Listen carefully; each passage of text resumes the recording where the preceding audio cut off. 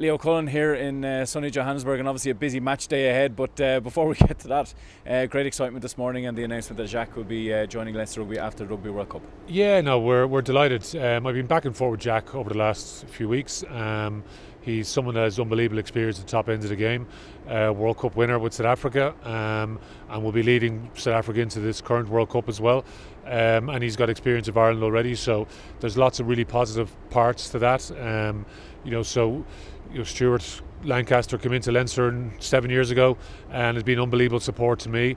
Um, so to have someone of Jacques's calibre come in to replace Stuart, I think it's fantastic. Uh, to work alongside the group of coaches that we already have. Uh, so Rob McBryde, someone who's so much experience as well, coming in from Wales when he did, uh, which was post the last World Cup, if you remember. Um, Andrew Goodman, who joined us uh, the start of this season. So Andrew again, former Leinster player, so much experience with the Crusaders in recent years and with Tasman as well. So um, and he's a huge future in the game, we believe. Um, and you know, we've other coaches there. So Emmet Farrell was works with kicking and skills with the backs in particular, uh, and Sean O'Brien who's come into that role as contact skills. So we're excited about the group that we have moving forward next season. Um, obviously, at the moment, we're very much focused on the game against the Lions today. Um, but yeah, no, hugely exciting day for Leinster Rugby, um, and we hope that Jacques will be a great addition to the group you mentioned uh, the calibre that Jacques brings to the table, Leo.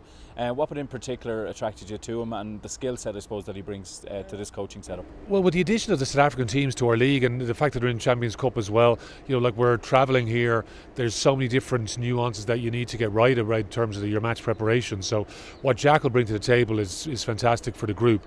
Um, yeah, like defensively, I think is is probably his key uh, strength. You know, like I've you know, looking up Jacques over the last number of weeks and months, like it's he's would be classified as defensive guru really. So in terms of what he's going to bring to us as, as a group, I think that'll be key moving forward. So um, and it's a different voice, yeah, hugely experienced voice, different voice, um, and I'm always keen to learn from some of the best people out there. So and Jacques definitely falls into that category. So yep, usually excited, um, but it's as I said, it's there's so much to happen between now and when Jacques does arrive, and you know his attention will turn rightly so to South Africa and doing whatever he can. And you know, obviously they're pitted with Ireland in the World Cup pools as well, so lots of different dynamics to that will unfold. So for now, I think it's just you know both groups or both parties will just deliver on what they want to do for their respective groups at this moment in time. So um, and then post World Cup, then we'll we'll be excited to welcome Jacques into our group. And just finally, Leo, as I mentioned earlier, there is the slight matter of a game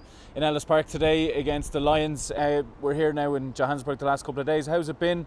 Obviously, a visit to the stadium yesterday for the lads for the captain's run, but how's it been in general in terms of travel and getting used to it, and I suppose building towards the game uh, later today at three o'clock Irish time? Um, well, the group travel well, yeah. So that's that's the first and foremost. Um, there's always potential for a few complications along the way, but relatively uh, smooth sailing for us. So. Um, yeah, no, the group are excited. You know, we we have a good mix in terms of the team. Um, some very experienced guys, some younger guys coming in and to the team. Um, being at Ellis Park yesterday, like it's amazing. My first ever time there. I've seen so many games over the years there. Uh, such an iconic stadium. Think of some of the games and events that have taken place there.